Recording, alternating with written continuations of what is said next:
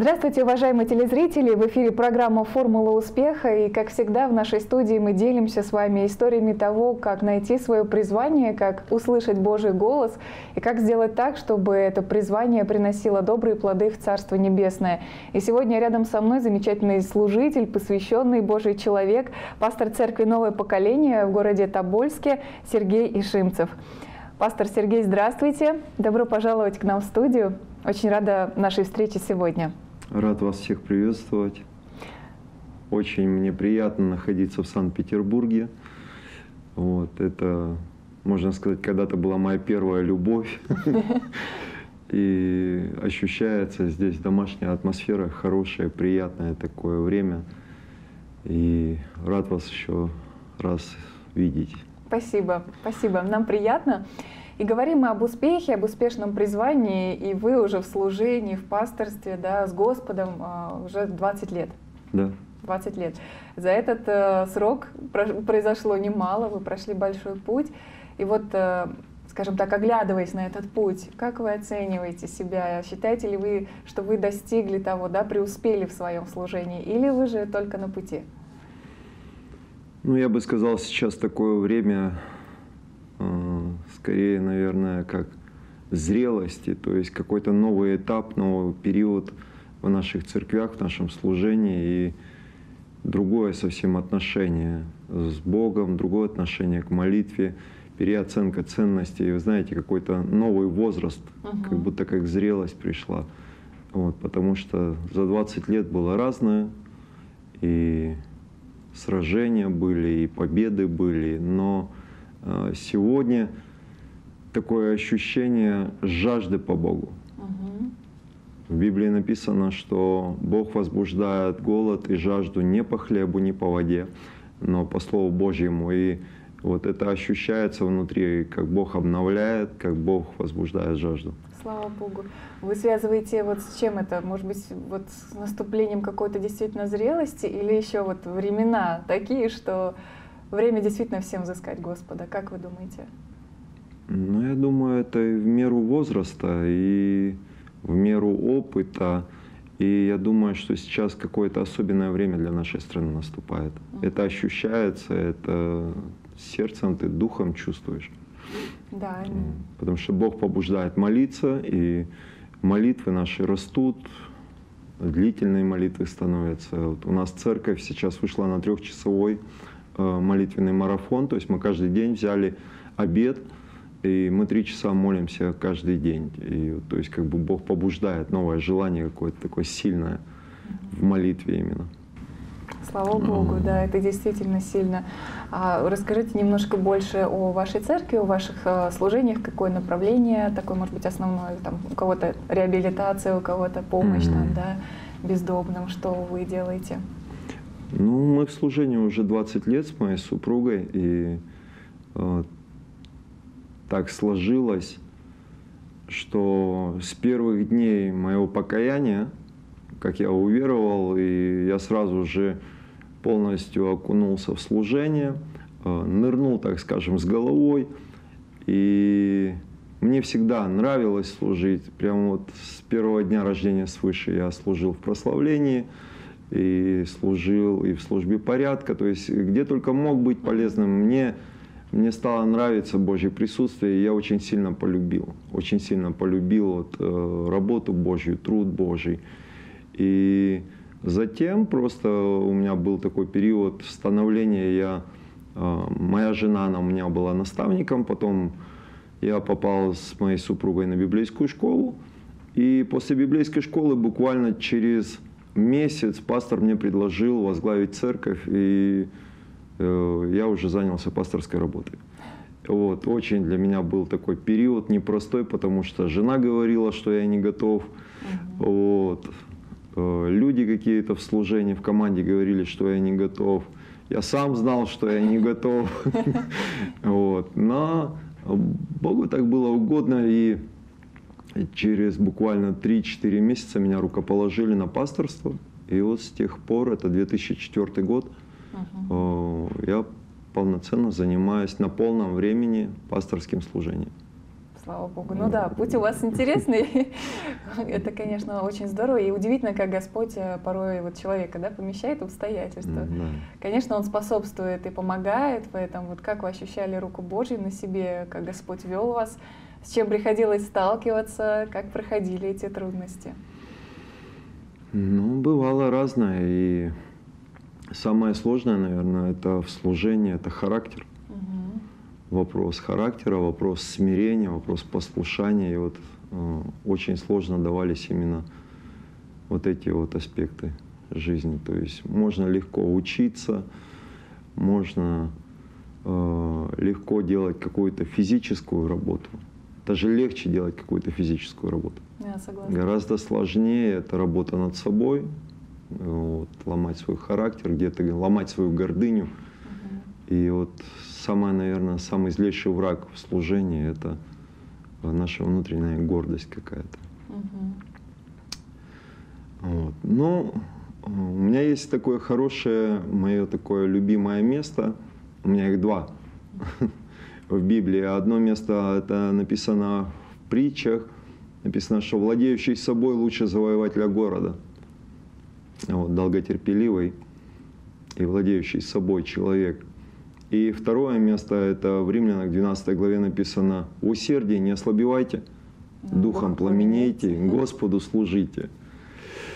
И вот исходя из этого, вот, да, мы говорим сегодня о формуле успеха. Я не считаю, что я достиг какого-то успеха, я еще на пути.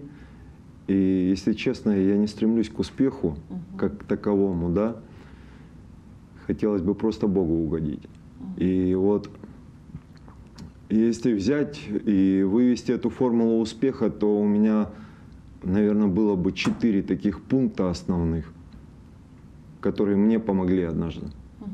То есть однажды я за правило принял, что усердие нельзя ослабевать. То есть желание, очень сильное желание служить, очень сильное желание угодить Богу, очень сильная любовь и желание быть с Богом. Когда-то на момент покаяния Бог наполнил, наполнил меня любовью, любовью к Богу. И вот это усердие, в нем нельзя ослабеть. Угу. Это желание нужно возгревать. И вот это желание нельзя ни в коем случае потерять. Да, и вот жажда. это вот на пути, на пути к успеху, это, наверное, основной, самый первый такой пункт. Очень сильное желание быть с Богом. Вот нельзя потерять желание служить Богу. Вот. Следующее, что очень важно, э, следующее, что очень важно. Очень важно, какие правильные люди находятся рядом с тобой. Вот очень важно э, наставники, очень важно, э, какую жену ты выбрал себе. Потому что в моем служении, в моем христианстве очень сильную роль сыграла моя жена. Кто найдет добродетельную жену, цена ее дороже жемчугов. И вот э, это очень важно, потому что э, жена это поддержка, жена это опора, и э, жена это смирение очень часто, которое помогает тебе справиться с твоим характером. И вот э, мой друг, у меня много друзей, и мой друг, он говорит, тебе просто повезло с женой, поэтому у тебя все как бы в жизни тогда да? все выстраивается. Тебе просто повезло с женщиной. Вот, поэтому, слава Богу, говорю, что я ее люблю и очень огромная благодарность у меня в сердце за то, что она появилась в моей жизни. Вот. И вот такие вот моменты в усердии не ослабевайте, духом пламенейте и Господу служите. Очень важно, какие люди рядом с тобой. Очень важно, чтобы внутри было очень сильное желание быть с Богом. Без этого никак не справиться. Угу. Да, это очень ценные советы на самом деле. А есть еще что-то добавить? Или вот эти основные четыре, которых вы придерживаетесь в своей жизни, которым учите, скажем, и церковь, да, и ну вот как, ну, как, если, как подробно, если подробно mm разбираться, то э, в усердии не ослабевайте на эти на эти вещи всегда идет атака. Угу. На усердие, на наше желание всегда идет атака извне. Постоянно кто-то хочет сбить с ног. Постоянно э, кто-то хочет отбивать твое желание служить. Либо это обстоятельства, либо это люди. Зачастую даже близкие люди неосознанно, они бьют порой по рукам, даже не понимая этого. И вот здесь очень важно удержаться и не опустить руки, не, не сдаться, не бросить служение. Здесь очень важно различать времена, сроки вот, и что происходит в твоей жизни. Бывают обстоятельства, бывает, бывает какая-то несправедливость очень часто, угу. которая влияет на усердие, на наш, на наш огонь, на внутренний. И вот нужно огонь просто всегда подогревать. Аминь. Вот. Да. А что касаемо, ну, очень, очень важный вопрос семьи, вот это, что касаемо семьи, э, здесь нужно вкладывать в отношения. И тогда, если ты будешь вкладывать в жену, жена будет вкладывать в тебя. И ты будешь служить. Помните, написано, служите друг другу, да? Да. А в другом месте написано угождать друг другу. И вот в другом месте написано «будьте снисходительны друг к другу». Поэтому можно много об этом Сплошное говорить. смирение и служение, да? Но это, да. это правда, потому что действительно э, как бы семья — это завет, и если супруг и супруга исполняют свою часть завета, то, конечно же, Господь, а, ну, Он третий среди них, да, как нитка втрое скрученная, mm обязательно будет помогать это делать и ему, и ей, и уже, конечно, выводить их в совместное служение и призвание, вот как случилось в вашей жизни. Получается, что вы вместе э, рука об руку идете уже вот 20 лет в пасторстве. Супруга, она со мной вместе в служении, она занимается пасторским, то есть она проповедует, она э, домашние группы вела долгое время. Э, очень важный момент еще то, что в служении ты вынужден на долгое время уезжать куда-то. И вот здесь очень важно понимание найти да. среди супругов, потому что у нас регион большой, Тюменская область, это огромные расстояния, и города друг от друга находятся за 500 километров, за 1000 километров, за полторы тысячи километров. И порой очень ну, длительные такие поездки. Ну, слава богу, супруга, она с пониманием относится. Или с вами путешествует она? Помогает? Нет, она не любит путешествовать. Но зато молится за вас и благословляет. Да, слава Богу. Тыл защищен. Слава Богу. Вот. А вот, э, пастор Сергей, такая вот обратная сторона, если человек действительно служит, и он усердный, старается не ослабевать, но не видит плодов своего служения. Вообще, возможно ли это? Может быть, они все-таки есть, просто человек их не видит, да? Вот как ему быть? Как ему не разочароваться ни в самом себе, ни в Боге, ни в служении в такой ситуации? Ну, во-первых, э, вера – это способность замечать малейшие изменения. Вот. Э, мы всегда так устроены, мы всегда хотим что-то глобальное видеть, мы хотим сразу все и вот здесь и сейчас. Но на самом деле вера, она из мелочей состоит. И вера, вот способность замечать какие-то мельчайшие э, вот, моменты. Во-вторых, вот очень важно, да, бывает так, что неудовлетворение, разочарование, но э, Библия также говорит, терпение нужно вам. То есть мы должны учиться дожидаться, мы должны научиться постоянству, мы должны научиться верности, потому что верный, он будет богат благословениями. И вот если мы научимся дожидаться – то мы увидим большие плоды. Обязательно увидим, я в это верю. Да, это как с Авраамом и с другими там, мужьями веры, да. которые ну, действительно были весьма-весьма терпеливы. А как быть людям, которые, допустим, а, ну, настолько преданы своему делу, что э, действительно посвящают себя этому настолько фанатично, да, что встает такая проблема эмоционального выгорания, духовного выгорания. Вообще реально ли это? Или Господь всегда восполняет? Или все-таки пастору и служителю нужен отдых? Это такая современная тема. Злободневная, я бы даже сказала, потому что очень много и конференций, и семинаров, вот как ты слышишь, что В последнее проводится. время я много об этом слышу, и mm. знаете, мне кажется, это уловка дьявола какая-то. Серьезно? А, вот. Это свойственно, написано, и юноши утомляются и ослабевают. Нам свойственно на земле, здесь человеку, свойственно уставать. И даже просто взять вот так, к примеру, э, длительное расстояние, когда ты преодолеваешь, да, вот я сегодня, допустим, я в 5 утра вылетел, чтобы с вами быть, и получается две пересадки, сколько, я не знаю, две с половиной тысячи километров, наверное, здесь расстояние. Да, примерно так. Вот. И свойственно, да, есть элемент, когда ты устаешь, утомляешься, но написано, что они обновятся в силе. Да, надеющиеся и, на Господа. Да. И вот э, хотелось бы сказать, если ты сегодня, может быть, утомлен, устал, разочарован, очень важно не отчаиваться в этот момент, очень важно правильное окружение рядом с тобой. Очень важно помнить, что Бог, Он верный. И мне нравится э, история про терновый куст. У меня есть серия проповедей. Написано, что Моисей, когда увидел, что куст горит и не сгорает – я поняла это вашу мысль. Его чудо привлекло внимание, и Моисей пошел посмотреть, почему куст горит и не сгорает. Потому что по определению куст, он должен вот так вот просто как вспышка, фу, просто как сухой кустарник, он должен был в один миг перегореть. Очень часто эмоциональные люди, они легко сгорают. Угу. Очень часто люди э, такие активные, они в омут с головой, изо всех сил, все время посвящают.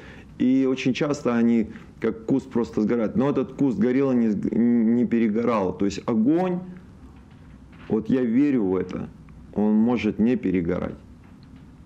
Вот есть источники Божьего огня, есть источники Божьего присутствия, которые не перестают. Они есть.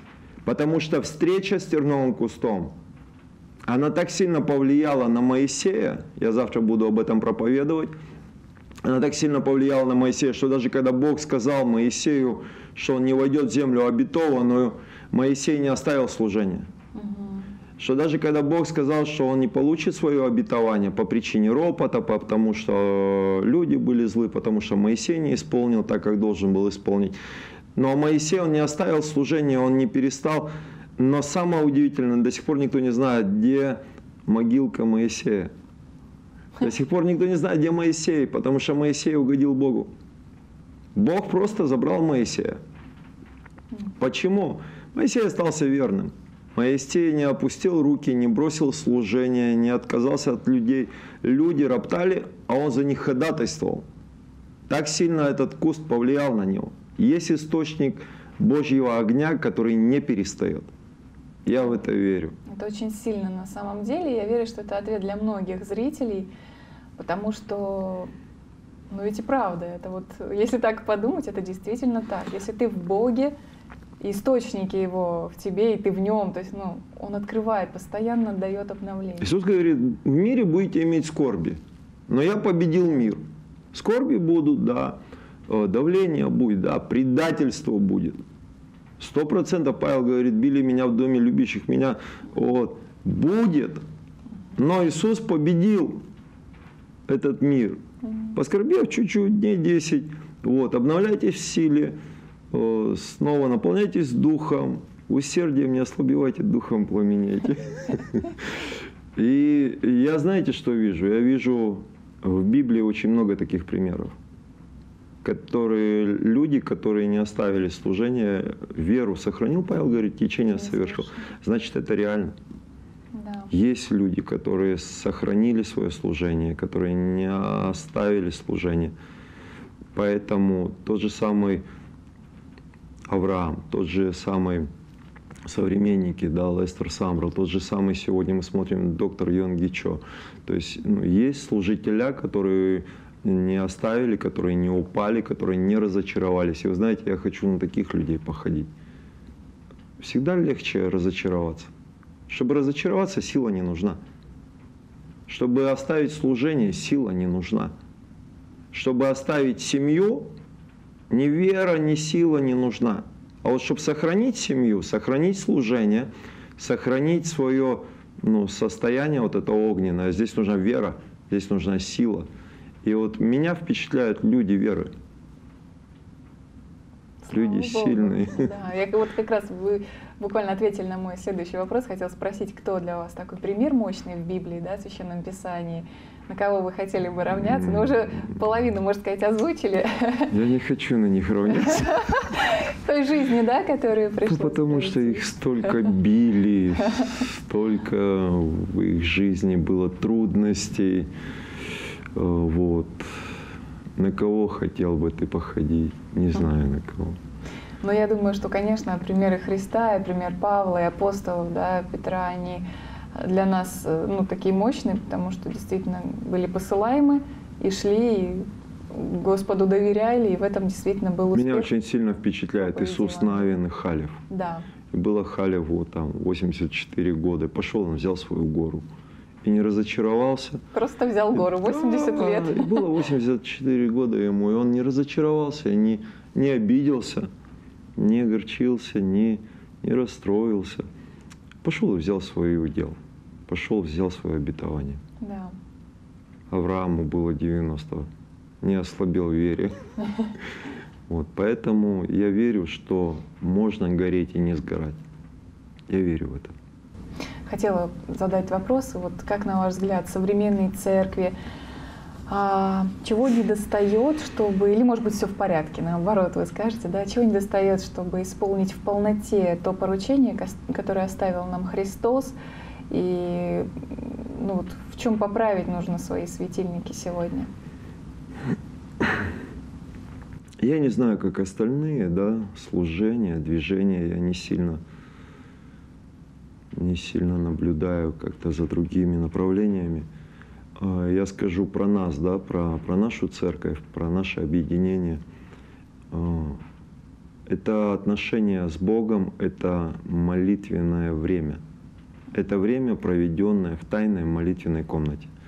Библия говорит, что Бог, видя тайное, воздаст явно. И что я сегодня вижу? Я вижу, что некогда. Люди заняты семьей, люди заняты детьми, люди заняты бизнесом, люди заняты служением. Вот. И что им некогда проводить время в тайной молитвенной комнате. Я думаю, что вот в вопросе взаимоотношений с Богом нужно навести порядок, нужно поправить светильники, нужно возобновить молитвы. Э, Помните, Бог говорит, знаю дела твои, но имею против тебя, что ты оставил первую любовь. Да. Да? И вот, вот, вот, вот это время первой любви, когда мы только уверовали, мы же зачитывались Библией. Просто поглощали. Да, когда мы только уверовали, у нас не было ни интернета, мы, э, у нас затертые были проповеди, мы э, смотрели эти кассеты с голодными глазами, одну и ту же проповедь по пять, по семь раз пересматривали. И, и, и вот куда голод этот делся? И вот я думаю, что нужно жажду по Богу. Бог, Он возбуждает, написано, производит голод и жажду. Вот сейчас приходит время, когда люди будут искать. Приходит время, когда люди будут молиться, читать, молитвенное время увеличивать. Да. Вот как-то так. Спасибо вам огромное, пастор Сергей, за ваш путь веры, за те шаги, которыми вы поделились, за те советы, которые вы дали, наставления и пример вашей жизни, вашего служения, вашей церкви. Слава Богу, да, будем молиться за вас, за то, чтобы Господь умножал и спасаемых, и чтобы в той земле, где вы находитесь, также процветало Слово Божье, распространялось, захватывая еще больше людей. Спасибо вам огромное. Спасибо вам, дорогие зрители, что были с нами. Мы благословляем вас, мы молимся о вас. Еще больше программ «Формула успеха» вы также можете найти на нашем сайте. Оставайтесь вместе с нами, увидимся на ТБН.